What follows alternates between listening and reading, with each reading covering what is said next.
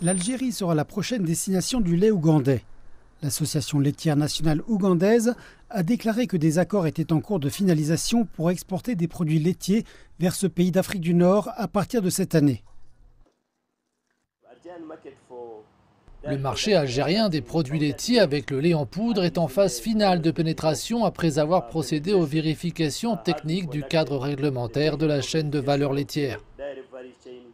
Les exportations ougandaises de produits laitiers sont déjà massivement consommées en Malaisie, à Oman, en Inde, au Japon et aux États-Unis.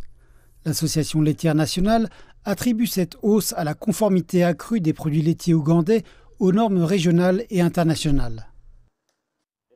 Une proposition plus élevée de produits laitiers testés pour les exigences de qualité et de marché continue de passer les tests de conformité.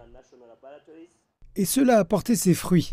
Les exportations laitières ont rebondi à environ 103 millions de dollars en 2022 contre 92,4 millions de dollars en 2021. La région de l'Afrique de l'Est et certains pays d'Afrique australe sont ceux où l'on consomme le plus de lait, de beurre et même de lait en poudre UHT ougandais.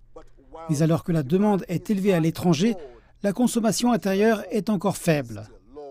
Selon les normes de l'Organisation mondiale de la santé, les Ougandais consomment en moyenne 64 litres de lait par an, ce qui est bien inférieur à l'apport recommandé de 200 litres. À la périphérie de la capitale Kampala, le lait reste très en demande. C'est une situation que Steven Sekulima espère exploiter au mieux.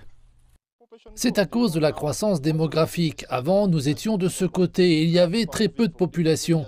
Maintenant, les gens se déplacent de différentes régions et poussent vers ce côté. La demande va forcément augmenter. Malgré des saisons difficiles de sécheresse et d'infection par les tiques, l'association laitière affirme que le secteur est dynamique. L'augmentation de la production laitière a été attribuée aux races à haut rendement introduites dans les fermes. Les prix du lait à la ferme ont également été correctement réglementés, ce qui rend les agriculteurs plus heureux.